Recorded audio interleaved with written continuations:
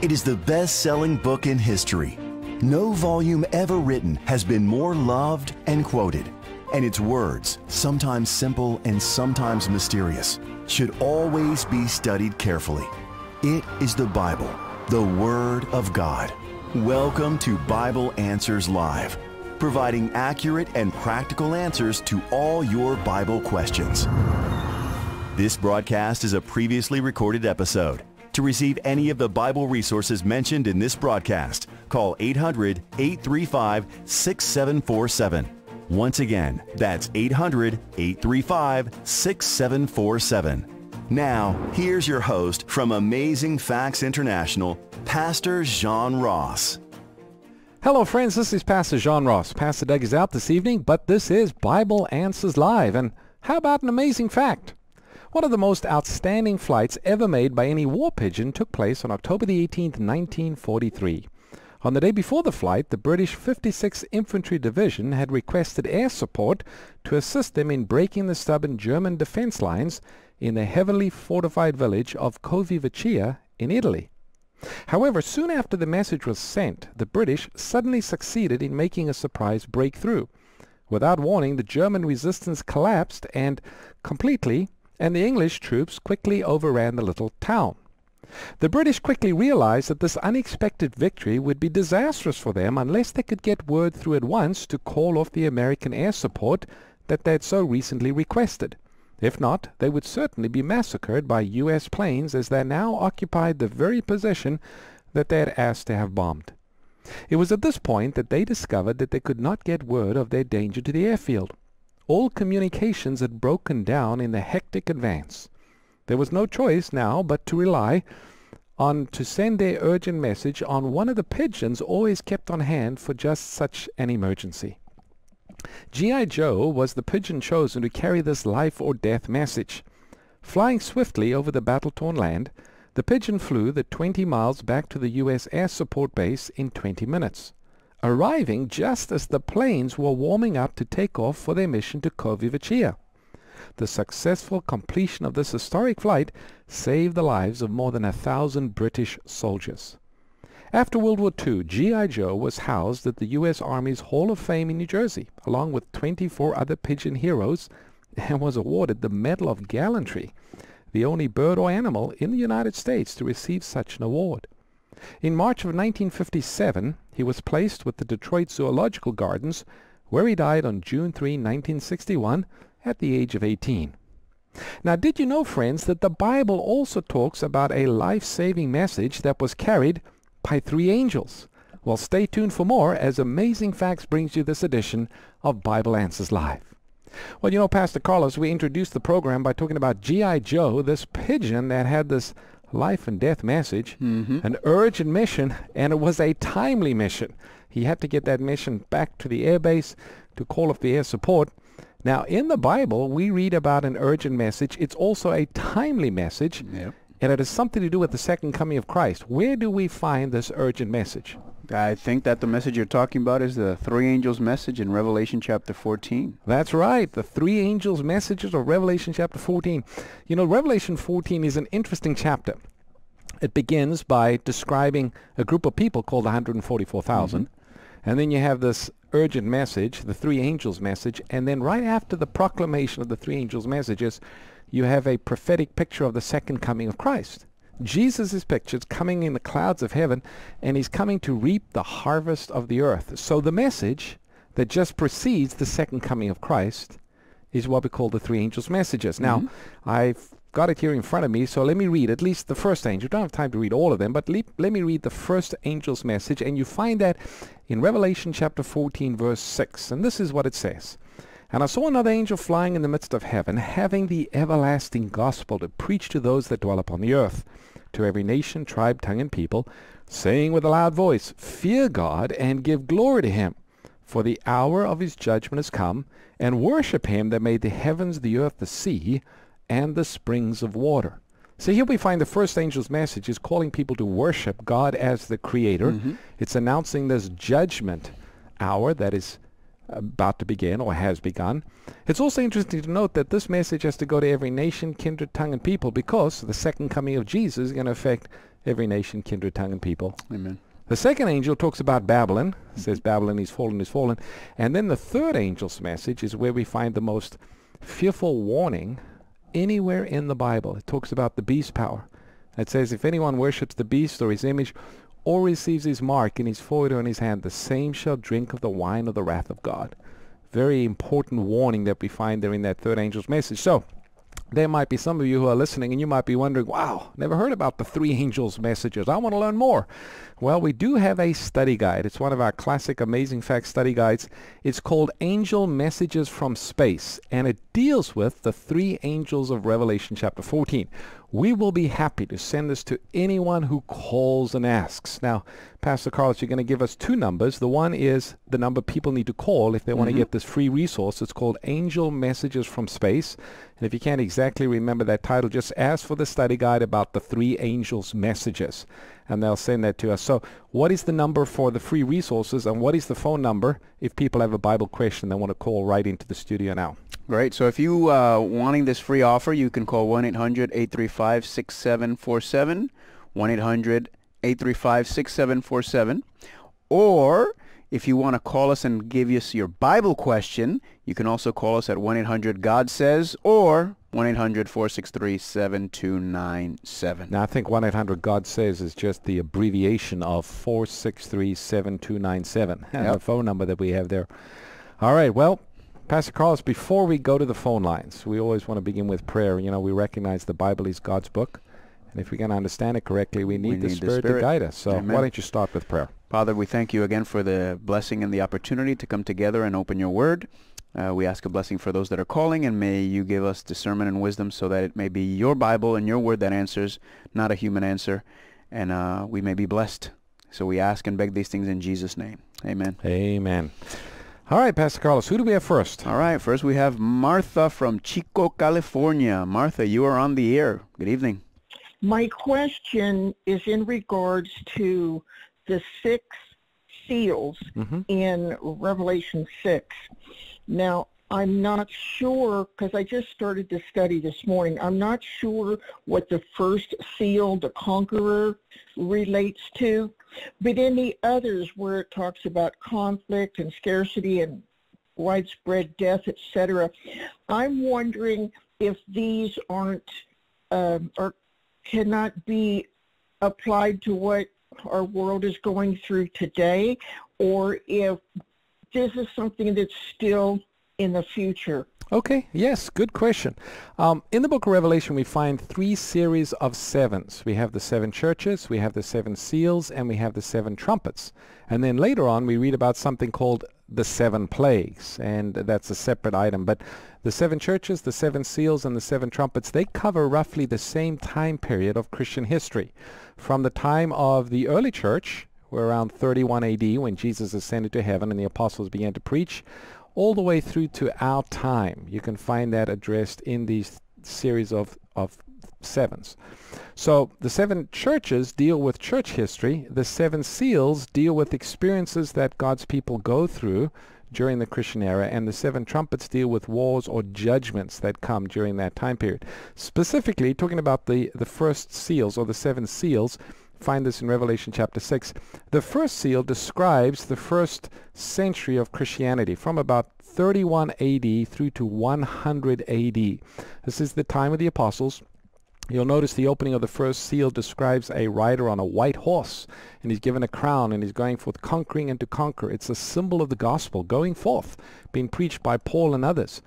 Even uh, one of the disciples, Thomas, went all the way to India to preach the gospel. So that white horse represents that first 70 years when the gospel was spreading so rapidly throughout the Roman Empire. The next is a red horse, and the red horse is a symbol of persecution that came upon the Christians from about 100 to 313 AD. Terrible persecution that came from pagan Rome. And the reason for that is because the Christians refused to acknowledge the emperor of Rome as a deity or as a god. And so they faced all kinds of opposition. So red is a symbol of blood. It describes that time of trial, that persecution that came upon the church. The next uh, horse, just real briefly, is described as a black horse. That describes the time period after 313 when you have the legalization of Christianity And over the centuries that followed, all kinds of pagan practices found their way into the Christian church. Uh, that leads into the Dark Ages, as we know. And during the Dark Ages, which is the fourth uh, horse or the fourth seal, it describes a time of death and famine. And this was really a description of what was happening in Western Europe, in the Christian nations of Western Europe at this time.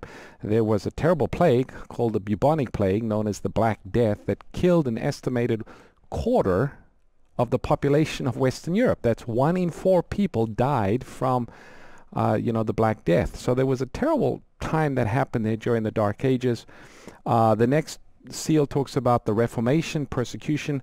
So the seals have a historical application. However, there are uh, different aspects of the seal that we find echoed in the seven last plagues. And we know that the seven last plagues is yet in the future. Uh, Jesus said one of the signs of the last days would be an increase in pestilence. And Pastor Carlos, it seems like we're seeing an incredible increase in disease. And of course, we're in the midst of a global pandemic. pandemic. So mm-hmm. I think that is one of the signs that we are nearing, um, you know, what the Bible says, we're nearing closer to the second coming of Jesus. Does that help, uh, Martha? Yes, it did. And I thank you for your time and your wisdom, and I really appreciate it. All right. Thank you for your call. All right. Next, we have Brittany from here, Sacramento, California. Good evening, Brittany. You're on the air. What does the Bible say about persecution? All right, what does the Bible say about persecution? Well, persecution comes uh, to those who are standing up for what they believe to be true. Now, there is good persecution, but there can also be bad persecution. Uh, there are those who stand up for things that are not true, and they might face opposition or trials of persecution. But from a biblical perspective, throughout uh, Christian history, those who have stood for the truths of the Bible, they did face opposition. At some times the persecution was terrible. At other times it wasn't as intense. But if we are standing up for Bible truth, we will face opposition because those who are opposed to the light, uh, they don't want you to be sharing your faith. Uh, they don't like that. And so, yes, those who try to live a godly life will face trials and persecutions. Jesus faced trials when he was on the earth. His disciples faced trials. And in the last days, according to the three angels' messages, the Bible speaks of those who are true to God. They also will face persecution and trial, but God will sustain them and carry them through. So yes, the Bible does talk about trials and persecutions coming upon believers. Does that help, Brittany? Yeah, it's great. I'm going through that now because I have this class assignment and it's driving me crazy because I'm only spending three plus days worrying about it and it's driving me nuts. well, you're right. There are all kinds of things that we face from day to day. Some more important, like a class assignment. If we're getting a grade, that's an important thing. And sometimes we just got to say, Lord, I need your help. And um, the Bible tells us to cast all our cares upon Amen. Jesus, for he cares yes. for us. That doesn't mean we don't have to do our part, right? We always want to do the best we can. So we do everything we can, and then we leave the results with God. We just put our trust in him. Thank you for your call, Brittany. Who do we have next? Next we have Jose from Puerto Rico. Good evening, Jose. Thank you. Um, my question is regarding the Jesus suffering. If if uh, if the Jesus suffering is a byproduct of our trans uh, of our transgressions, or a requirement for our salvation.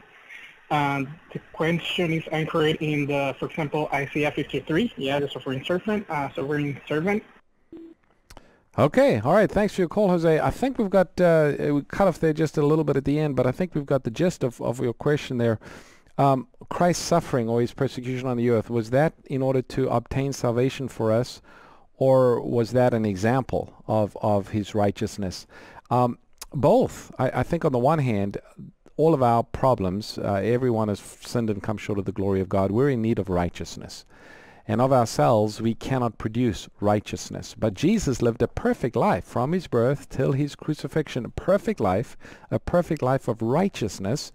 Not only did he die for our sins, but he also lived a perfect life for our uh, salvation as well. So when we accept Jesus as our personal Savior, not only are our sins paid for, but his life of righteousness stands in the place of our lives of unrighteousness, and we stand before God just as if we have never sinned. So yes, the trials that Jesus went through were very real, and uh, we can claim his life of righteousness on our behalf. So and that's the, the biblical truth, the theological term there, Pastor Carlos, justification, where we're accepted before God just as if we have never sinned, we are clothed in Christ's robe of righteousness. Amen. And that same power that was manifested in his life is also given to us to participate in the divine nature. And and the theological term for that is called sanctification. Sanctification. So not only does he forgive us, but he transforms us. Amen. And then that leads to our final hope, and that is Glorification. glorification. Glorification is when Jesus comes again, when these mortal bodies put on immortality. Of course, that's the great hope of the Christian. Amen. Thanks for your call, Jose. Who do we have next? Trent from Austin, Texas. Hello, Trent. You are on the air. Welcome.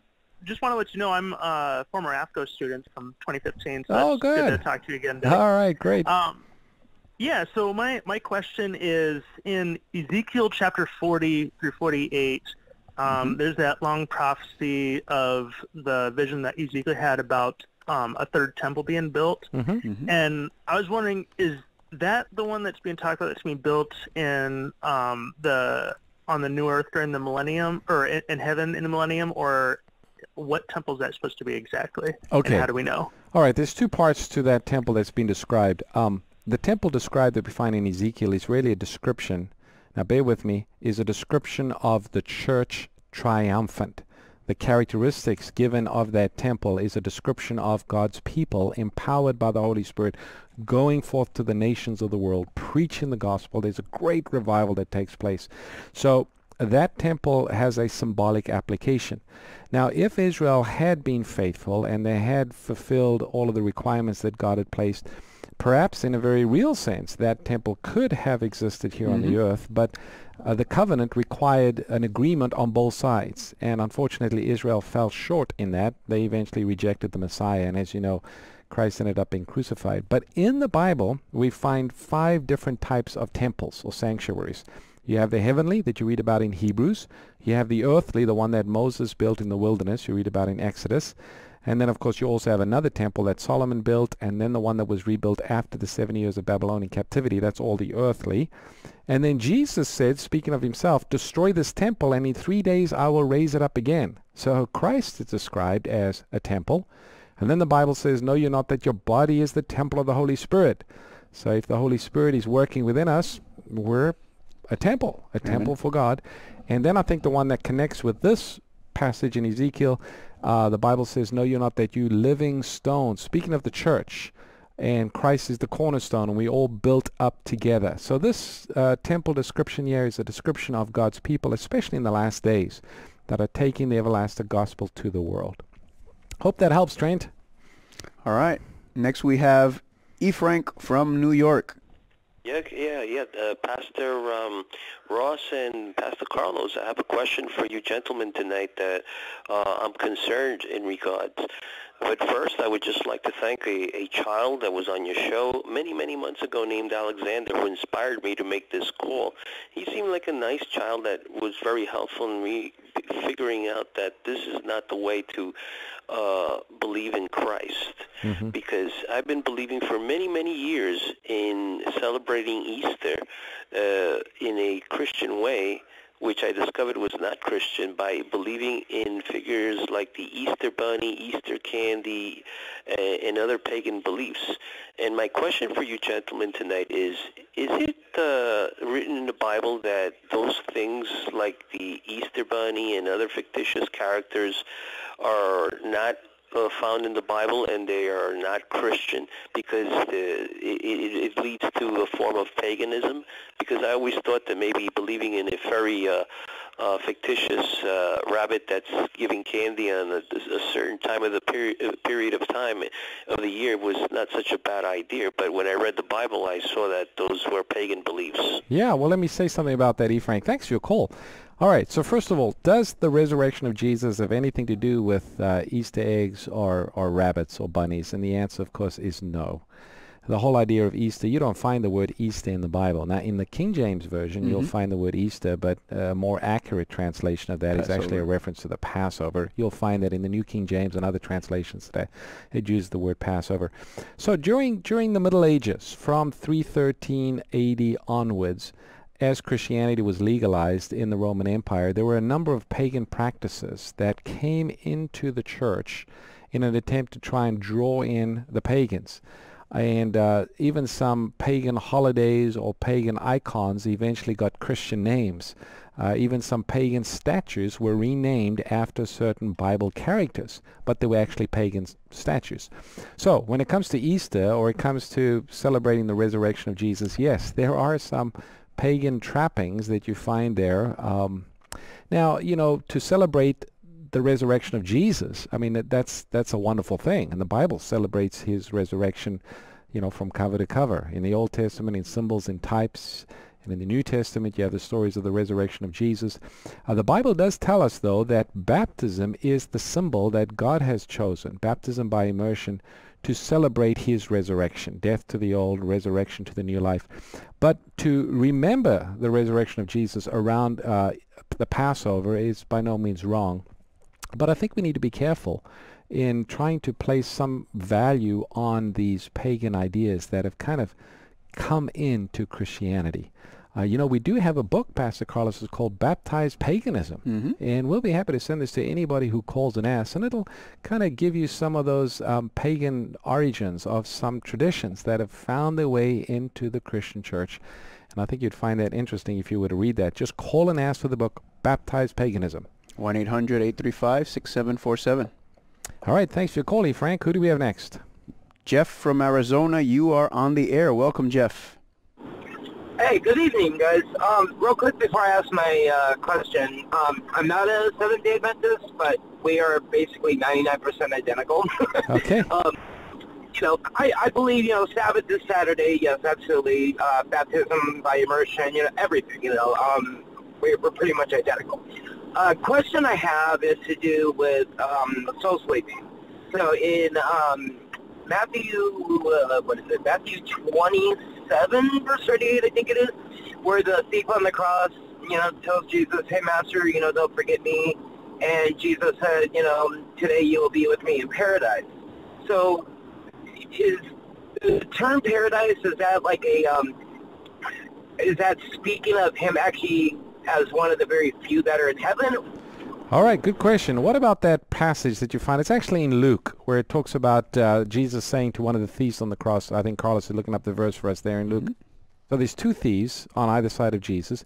The one is uh, saying, "If you are the Christ, then come down from the cross and save us." That's what one of the thief, the, one of the thieves was saying. Apparently, both of them at first were saying that, but as the one was listening to what was happening, observing what was happening. Conviction took a hold of him, and he finally turned to the other thief and said, you know, we're getting what we deserve. But this man, speaking of Jesus, he has done nothing wrong. And then the Holy Spirit even illuminated his mind more because he finally turns to Jesus and he says, Master, remember me when you come in your kingdom. Now it's important for us to note the thief was not expecting to receive his reward that day. He mm-hmm. said, Lord, remember me when you come in your kingdom. Jesus then responded and said, Assuredly I sound to you today, you will be with me in paradise. Now, in the original Greek, there are no punctuation. There's no commas in the original Greek. That came many years later. And depending upon where you put the comma, that can change the context of that verse that Jesus is, uh, the words that Jesus is saying. You see, Jesus was not saying that the thief would be with him in paradise that day, because you read on Sunday morning, the resurrection, Jesus said, I have not yet ascended to my Father in heaven. So Jesus didn't go to heaven uh, the moment he died on Friday afternoon.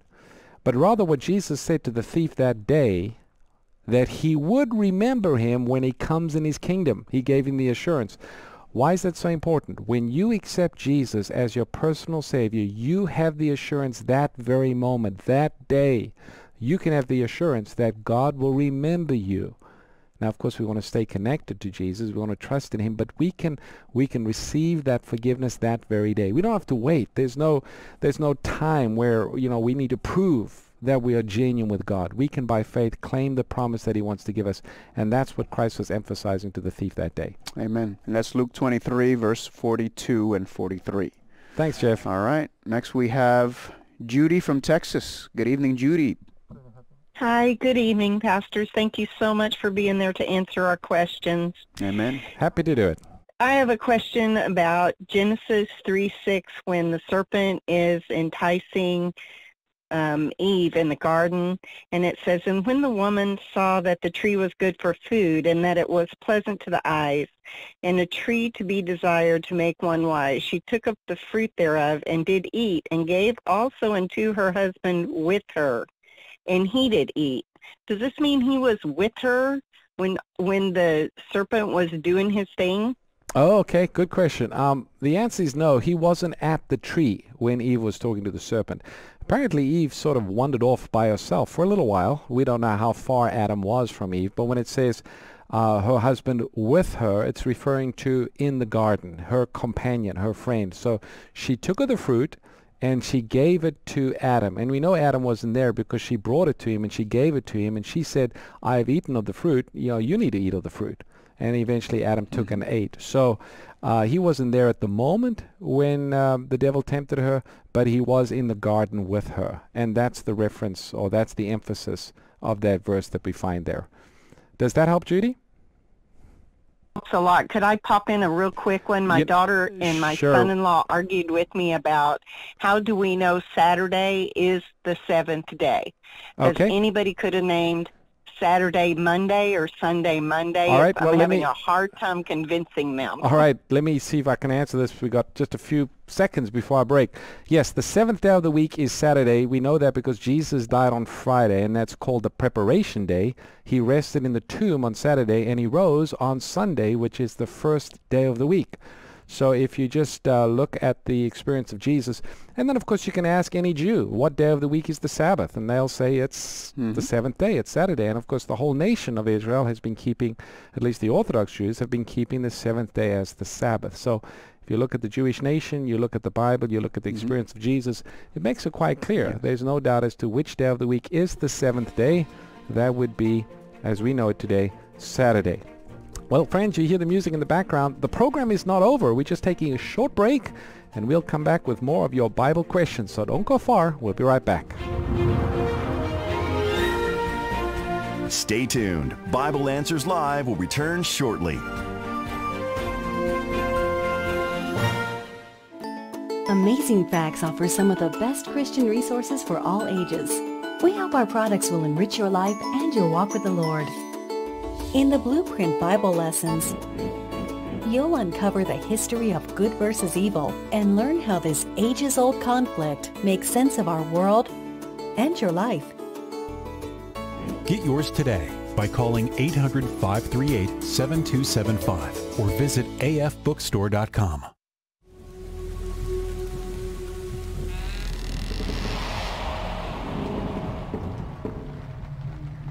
Throughout recorded history, tales of ghosts and spirits can be found in folklore in nearly every country and culture. Egyptians built pyramids to help guide the spirits of their leaders. Rome sanctioned holidays to honor and appease the spirits of their dead. Even the Bible tells of a king that used a witch to contact the spirit of a deceased prophet. Today, ancient folklore of spirits and apparitions have gone from mere superstitions to mainstream entertainment and reality. Scientific organizations investigate stories of hauntings and sightings, trying to prove once and for all the existence of ghosts. Even with all the newfound technology and centuries of stories all over the world, there is still no clear-cut answer. So how do we know what's true? Why do these stories persist? Does it even matter? We invite you to look inside and find out for yourself. Visit ghosttruth.com.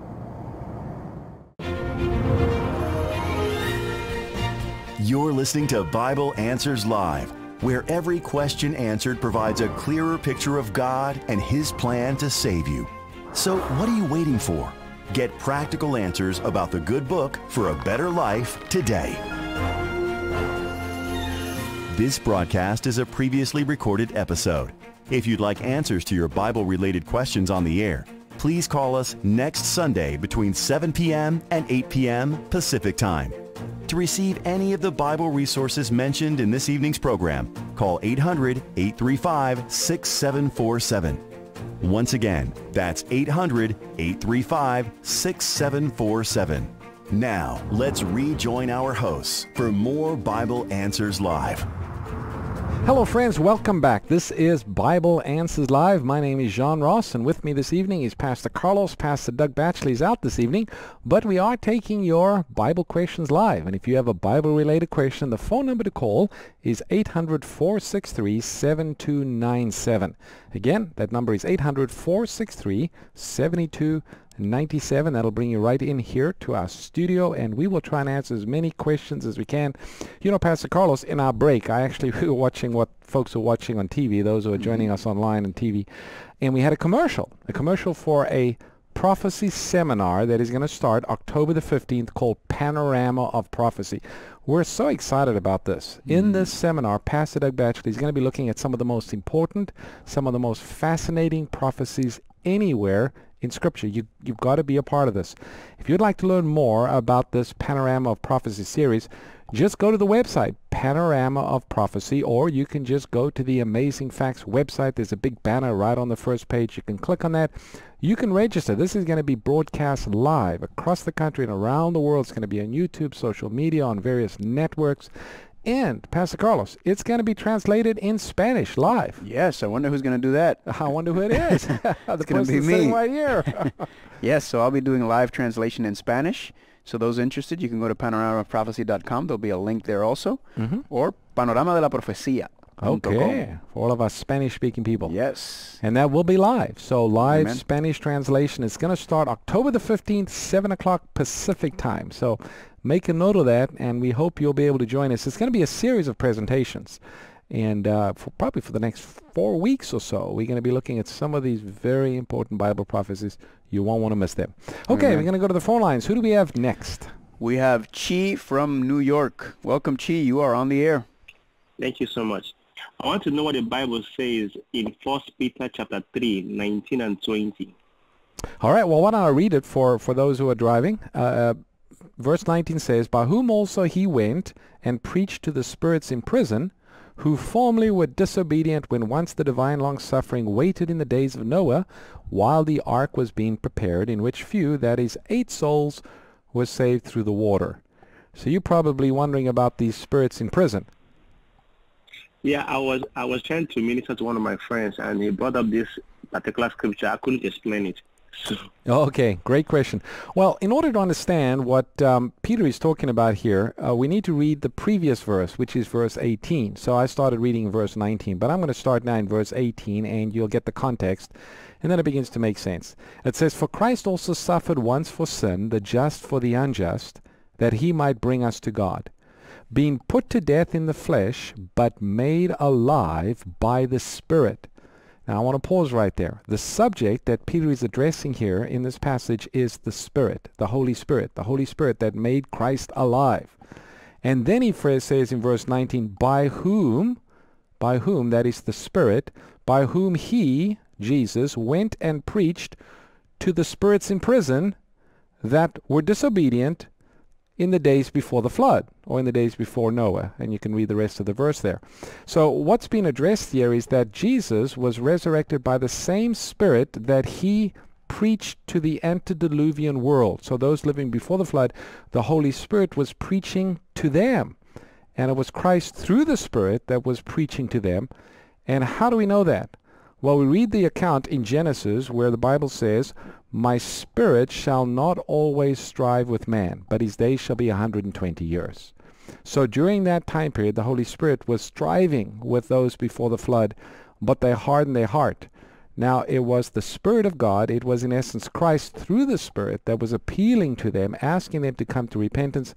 They refused, and so the Bible goes on in verse 20 to tell us that only eight souls were saved. That would be Noah, and his family. So it's not talking about when Jesus died, his disembodied spirit somehow went down into hell to the people that were there before the flood. There's a whole doctrine that's been built on a misapplication of the phrase, the first verse in verse 18, which talks about the Spirit. It's the Holy Spirit that has been emphasized, and the Holy Spirit did speak to the people before the flood. Yeah, I think there's a great verse also in Isaiah 42, 6 and 7. It says, talking the Father about the Son, I have given you as a covenant, as light to the Gentiles. And Isaiah 42, 7 says, to open blind eyes and to bring out prisoners from the prison. Aha. So it's the imprisonment of the mind to slavery to sin. That's right. That is liberating us. And of course, that's part of the mission of Jesus. He said, I've come to set the captives free. Amen. Well, he didn't break down any prison doors, but spiritually speaking, he set the captives of sin free. Amen. And that's really what's being addressed here in the verse. Does that help, uh, Chi? Yeah, it helped a lot. Thank you so much. Oh, you're welcome. right. Thanks for your call. Thank you very much. Next we have Jerry from Rocky Face, Georgia. Good evening, Jerry, to Bible Answers Live. Good evening to you. Hey. I was just wondering about John, the Gospel of John, chapter 10, verse 34 is what I was uh, wondering what y'all thought about. But you might want to start with 33, 34, and 35. Yeah, all right. That. Thanks, Jerry. I'm going to read it for those who are, are driving in their car. Um, I'll start over here in in verse. Uh, let me start in verse 32, just so we get the context. Jesus answered them. He, Christ is having a discussion with the religious leaders of his day. Uh, many good works I have shown you from my Father. For which of these do you stone me? And then they respond, verse 33, the Jews answered and said, For a good work we do not stone you, but for blasphemy, and because you being a man make yourself God. So Christ would uh, refer to himself as being the I am, or Christ would sometimes say, I am the way, the truth, the life. And the religious leaders said, oh, this is blasphemy. If you claim to be able to forgive sins, or if you claim titles that belong to God, well, biblically speaking, it's blasphemy. Now, it was not blasphemy for Jesus, for he is God. He is the Son of God. But there was this dispute. And verse 34, Jesus answered them and said, It is, n- uh, is, is it not written in your law, I said, you are gods. If he called them gods to whom the word of God came and the scriptures cannot be broken, do you say of him whom the Father sanctified and sent into the world, you are blaspheming because I said I am the Son of God? So, he's referring to an Old Testament passage, I believe in Psalms, Yep. where it refers to people as being gods, but it's with a small g. It's not a capital G. It's not referring to the divinity, but there was certain rulership or lordship. Another word for translation that is lord or overseer. So Christ is saying, you're condemning me because I'm calling myself the Son of God, and yet I have been sanctified by the Father. My works prove that I am the Son of God. And he says, but you claim to go by the law, but the law refers to people as being rulers or overseers or lords, and yet you're wanting to condemn me for being me for being a, a ruler or an overseer or a lord. Eh, In essence, Jesus was just turning the situation back on them because they were accusing him of something that he didn't do. hmm That's his, and that's in Psalms 82, 6. Uh, did that help a little, Jerry? Yeah, that helped some there, you know, but uh, I just wondering about, of course, I got the old King James version, and uh, God's, when it says ye are gods there, it's, it's in all capital letters. Of course, I know we're not God. Yeah. Can't be. Right, exactly. You know, I know that. Yeah, when it's, when it's we're not- translated... we, we're not even cl- we're not even close to God. Right. When it's translated in the New King James, and even actually over here in John, it's all small case gods. So it's not referring to the one and only true God. Remember the pagans, the nations surrounding Israel, they also had deities or gods. And they had overseers and lords. And I think a better word there for God, if you go back into the original Hebrew, has to do with rulership or lordship. Yeah. That's uh, really been It's referred actually to the there. word Elohim. Is okay. the word that shows as, up as there. ruler, Yeah. Lord. Okay. Judge. Judge. Two as of a us, judge. yeah. Okay, well, thanks, Jerry. Uh, who do we have next? Christopher from Huntington Park. Good evening. You're on the air.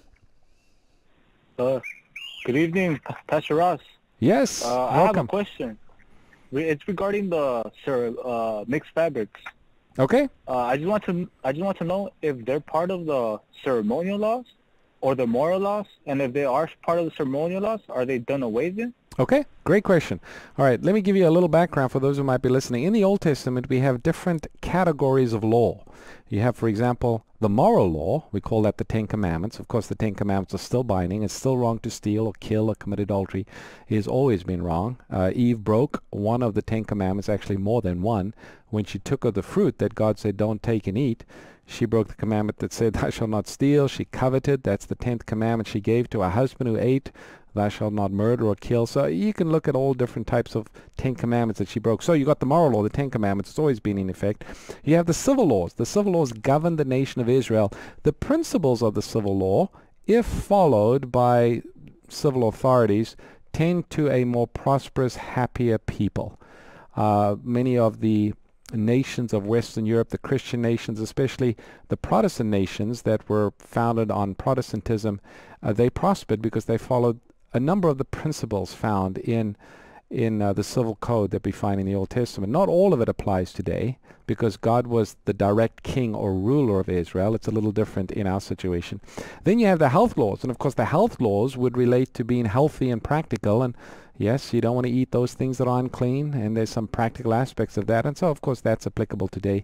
But then you have the ceremonial laws, and the ceremonial law had to do with the priesthood, it had to do with the sanctuary, it had to do with the sacrifice, but there were also connected with the ceremonial law some additional customs that the people were to follow. Here specifically, one of the regulations not to wear clothes of mixed fabrics. And the reason for that is because God wanted to make a distinction between his people and the pagan nations around them.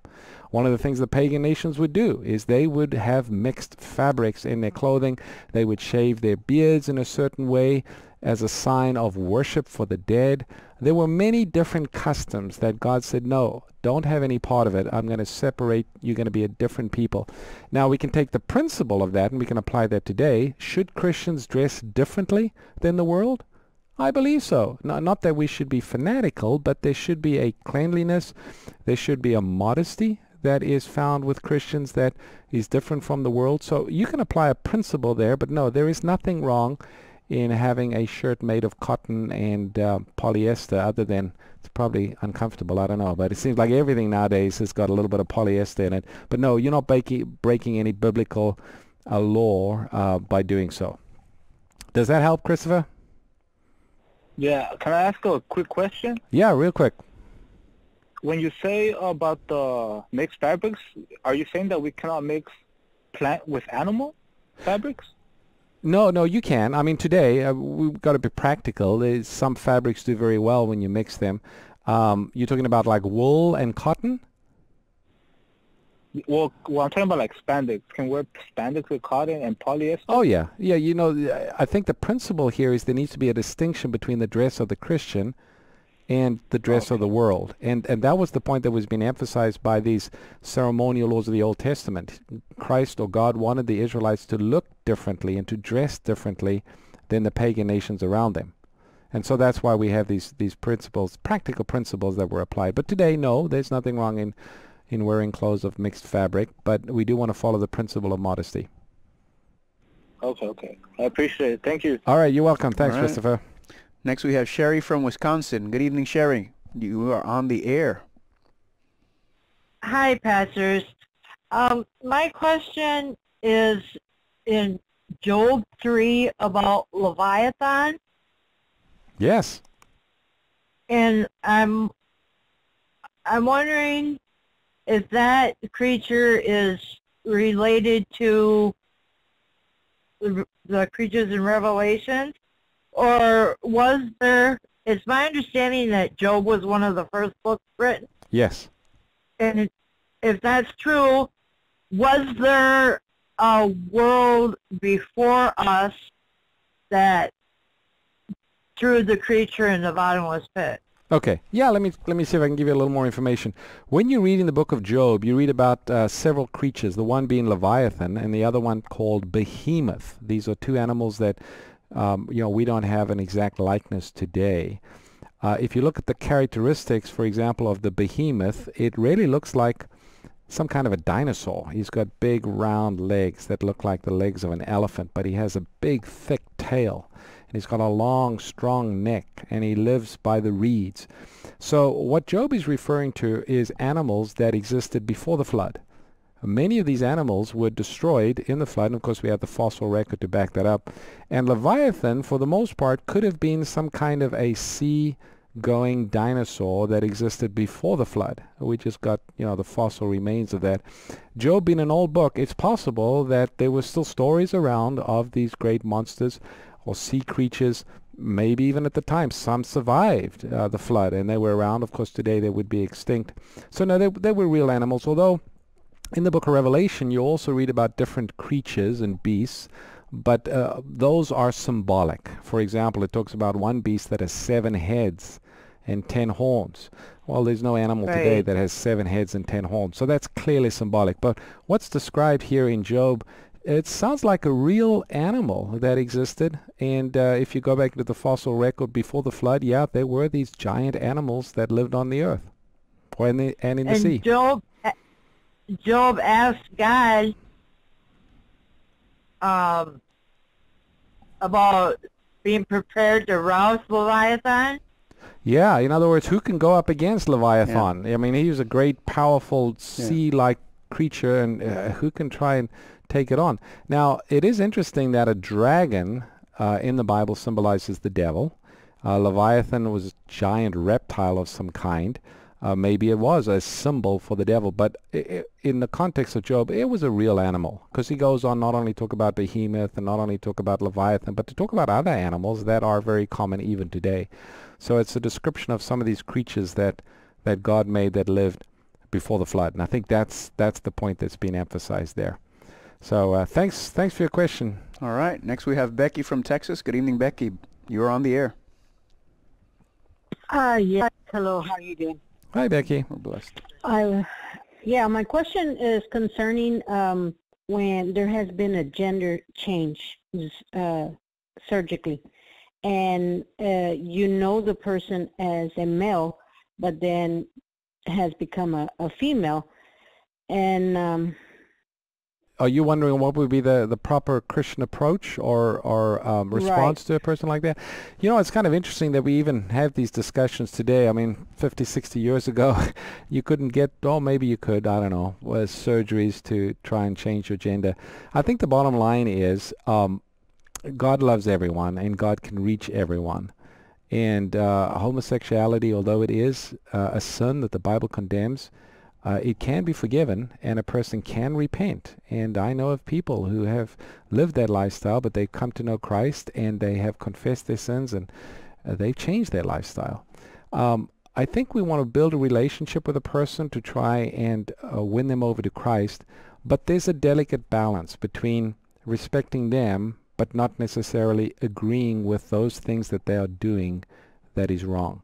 And it's not just this particular area of sin, but any sin. Uh, you know, I know people who want to honor their parents, but perhaps their parents are doing things that are wrong or a violation of the Ten Commandments. How do you how do you walk that line between honoring your parents and yet not participating or supporting or endorsing the things that they are doing that you know is wrong? And so that's where we need to pray for wisdom and guidance on an individual basis. We want to be Christ-like in the way we interact with people uh, Jesus ministered to them. And I think we need to see in every person uh, a soul uh, that Christ died for. In other words, we want to reach every person with the good news of salvation and try and encourage them. So we've got to pray for wisdom. That that is a tough question, a difficult situation, and um, you know each case is going to be a little different, Pastor Carlos. But I think that's where we need to pray and ask God to guide us and help us. Amen. Just yeah. loving them and letting the Holy Spirit do Let the work the Holy in their Spirit heart. do what he only He can do. Well, thanks for your call, Becky. Who do we have next? Abigail from Georgia. Good evening to and welcome to Bible Answers Live. Uh, my question is, um, if Elijah went to heaven, like the heaven where God dwells, um, did he see God when, even if the Bible says that no man saw God or has seen him? Okay. Uh, yes, Elijah was taken to heaven. He, he was taken up to where God is because you read in the Gospels that Elijah and Moses appeared with Jesus in the Mount of Transfiguration. So if Elijah and Moses were in heaven, of course Moses died, he was resurrected according to Jude, and he was taken to heaven. Um, if they're in heaven, I'm sure they, they're able to see God. The verse you're referring to is in John chapter 3, where Jesus says, No man has ascended up into heaven and come back down except the Son of Man. He's speaking about himself. So what Christ is referencing there is that He's the one that has brought the truth from heaven. He's the one that has come to earth to reveal what God is like in his fullness, in his glory. Um, it, it's, excuse me, Pastor, I'm so sorry yeah, to go interrupt, ahead. but I'm talking about the one, John 18. Which one? John 1:18. John 1:18. no oh, one has yes, seen yes, God. yes. Okay. Let me read the verse just before. It talks about the law came through Moses, but grace and truth came from Jesus Christ. No one has seen God at any time, the only begotten of the Father, who is in the bosom of the Father. He has declared him. Again, that reference to seeing God is not just seeing God, but it's seeing to reveal God. In other words, nobody has revealed God but the Son. That's the spiritual application of that. For example, the disciples said to Jesus, Show us the Father, and it suffices us. And Jesus says, He who has seen me has seen the Father. So when it's saying no one has seen the Father, it, it's not just visually, it's not just seeing Him, but it's seeing and revealing, seeing to show the Father. Only Christ can show us what the Father is really like. Uh, okay. Thank you so much for answering my question, guys. All right, you're welcome. All right. Thanks for calling. Next we have Milo from Rhode Island. Milo, you are on the air. Hey, how are you? Blessed. How are you? I'm an quick question in regards to um, companionship for a uh, young adult male. Um, I'm in my mid 20s, recently born again, and uh, seeking for a companion in in this world. Um, just wanted to know whether God will provide one for me, or do I have to do the soul searching myself? Oh, okay, good question. Of course, there's nothing wrong to seek a companion, to seek a spouse. Uh, marriage is honorable. Was something that God gave. But we do want to be very wise and careful in choosing a spouse, and that's where we want to pray and ask God to lead. Um, marrying the wrong person can be, uh, many people know, it can be a, a very difficult thing. Marrying the right person, someone who loves the Lord, can actually enhance your spiritual growth with Christ and draw you closer to Him. So what part do we have to play? You know, I think we want to pray for guidance and wisdom, but there's nothing wrong in getting to know people or befriending people. Some of the guidelines that the Bible does speak of, it says don't be unequally yoked. So don't go out looking for somebody that doesn't believe in Christ or is not a Christian, who doesn't hold your religious beliefs or doesn't understand the Bible in the way that you understand it, because you're creating problems for yourself. So find a good Christian person, somebody that loves the Lord, somebody that shares your ideals. Um, it is nothing wrong, Pastor Carlos. I know of some folks who are happily married, uh, wonderful Christians, and they found each other on a Christian uh, Dating site. Yeah, single site. So there's nothing wrong with that. God can work through that as well. But you do want to pray and ask God for guidance and wisdom, and then just lay it all before the Lord and say, Lord, is this the one that you want me to marry? And the Holy Spirit will lead. God will convict us if our hearts are sincere and we're wanting to do His will. All right, I think we have time for one or two more, Pastor Carlos. All right, let's go quickly. Jerry from Paradise, Michigan. You're good evening. You're on the air. Yes, hi. Can you hear me okay? Because I'm calling from off grid. Yeah, no, we can hear you.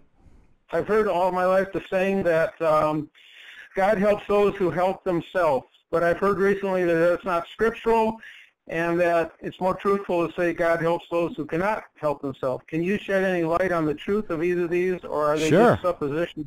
Yeah, absolutely. Uh, the the thought God helps those who help themselves is, is not found in the Bible. I think that was Benjamin Franklin, if I'm not wrong, or, or one of those famous uh, writers that mentioned that. But you know, the principle we find in the Bible is that God helps those who recognize their need of help. Uh, he doesn't just help those who can't help themselves. He helps those who recognize their need of help and they turn to him for help. That's the key.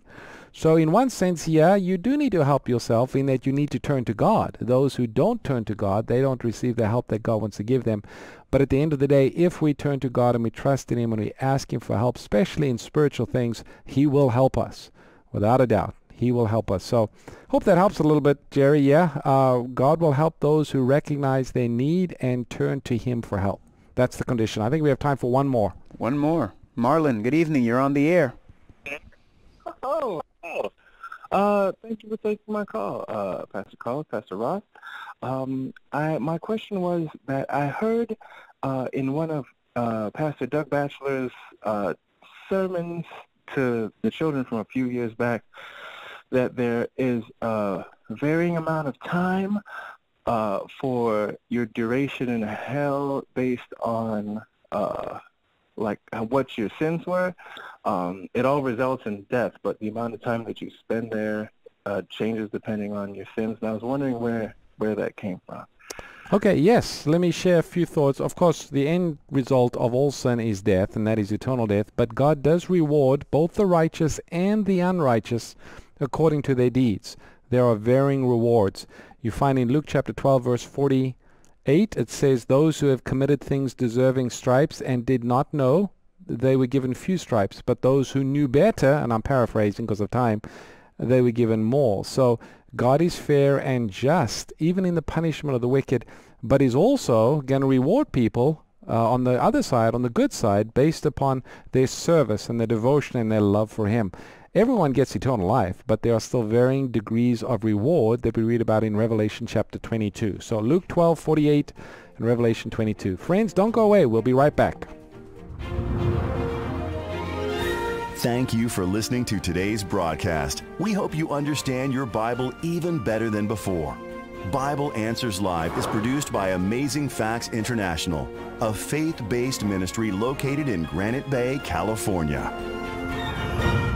Hello friends, welcome back to one of our best parts of Bible Answers Live. We're going to try and answer as many of your questions that have come in via email. So Pastor Carlos, Yes. how many questions do we have this evening? Let's go for it. What's the we first have about five questions here. Uh, this is Connie. She's asking, my nephew says the Bible is fictional. How do you know there is a God? How do you know that there's a God? Well, first of all, you've got to read the Bible. The Bible reveals to us that there is a God.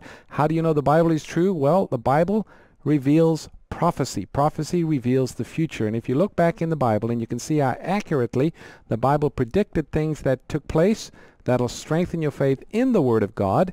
And when you trust the Word of God, it'll lead you to the God of the Word, which is God the Savior, Jesus Christ. All right. Next, we have a question from, let me see if I do this correctly, Motzi. Okay, Did very I good. do that right? I think so. Why did God forgive Satan, and what sin can we partake in today that God cannot forgive? Okay, why didn't God forgive Satan? And is there a sin that we can commit that God cannot forgive? Well, Satan committed that sin that God cannot forgive, and the Bible refers to that as the unpardonable sin. It is the sin against the Holy Spirit.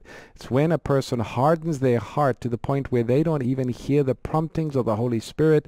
Their conscience, in essence, have been deadened. The Bible tells us it's the goodness of God that leads a person to repentance. So if we've rejected the Spirit of God that leads us to repentance, how do we come to a point of repentance? And if we don't repent, how can we be forgiven? So yes, there is a sin for which there is no forgiveness, and that is the sin of rejection against the Holy Spirit or the unpardonable sin. Satan has committed that sin. Next is from Jesami. In the book of Job, it talks about the sons of God gathering before God as well as Satan. Who are the sons of God? Okay, short answer on this one. The sons of God are the representatives of the unfallen worlds. Uh, Psalms talks about the elders as a group of people that are there in heaven. How do we know that they're the representatives of the unfallen worlds? Because you read in Job that the devil shows up and God says, where did you come from? And he says, oh, from walking up and down on the earth. So we know this gathering was not on the earth. It was some other place, probably in heaven. And the devil came representing the earth and saying, well, you know, that's my domain now. That's my kingdom. And God says, well, have you noticed there's someone in your kingdom that really belongs in my kingdom? And you have the whole story of Job. But we believe these sons of God are these uh, representatives of these different realms, these worlds that you read about in Hebrews chapter 1. All right, last one quickly. What did Christ mean when he said we must be born again? To be born again, we have to accept Jesus as our personal Savior. We confess our sins. We ask for the Holy Spirit to do a work in us that only He can do. And just as surely as we do that, God is faithful. He'll forgive us and He'll cleanse us. Friends, thank you for joining us for Bible Answers Live. Look forward to seeing you next week.